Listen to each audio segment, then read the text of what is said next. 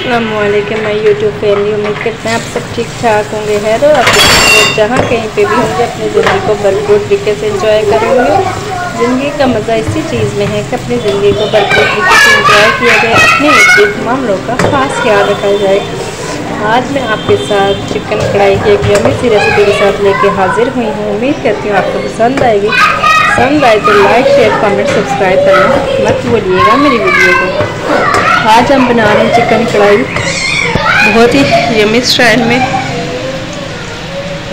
आपको पसंद आएगी। पसंद आए तो मेरी वीडियो को लाइक शेयर कमेंट सब्सक्राइब ज़रूर कीजिएगा।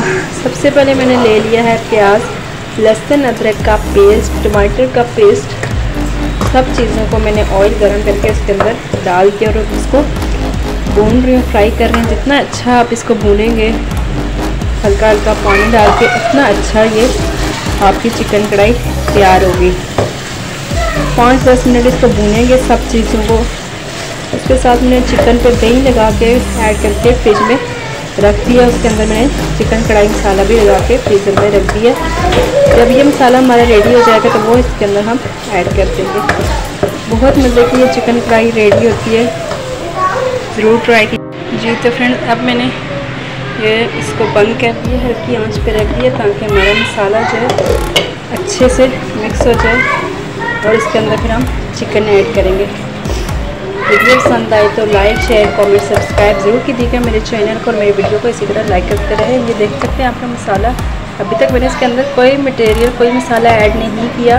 फिर भी आप इसका कलर देख सकते हैं, कितना प्यारा है, क्योंकि जो है लहसुन, अदरक का पेस्ट और प्याज और टमाटर अच्छे से आपने भून लिया। अब इसको हम बंद कर देंगे हल्की आँच पे हम इसको रख देंगे। तो इसके अंदर हम चिकन ऐड करेंगे, जो कि हमने फ्रीज़र में रखी हुई है।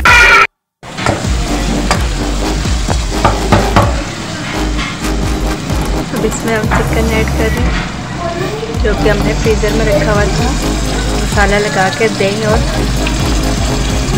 कढ़ाई मसाला कढ़ाई देख सकते हैं आप, मसाला सारा चिकन के साथ जस्ट हो गया। कितना प्यारा लग रहा है।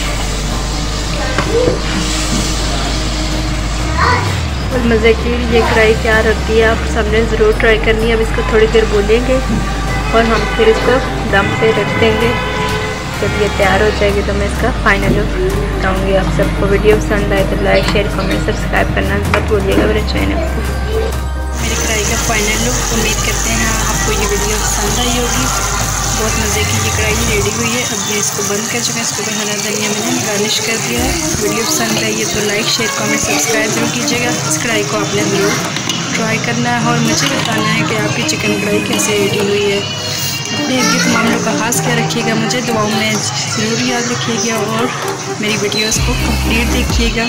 लाइक, शेयर, सब्सक्राइब करना। अल्लाह हाफिज़।